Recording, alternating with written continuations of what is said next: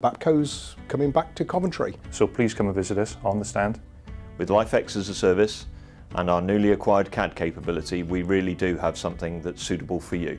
Be great to see everybody again. Always one of the best events that we ever go to. And of course, the happy hour will be on the, the first day. We look forward to seeing you there. Thanks.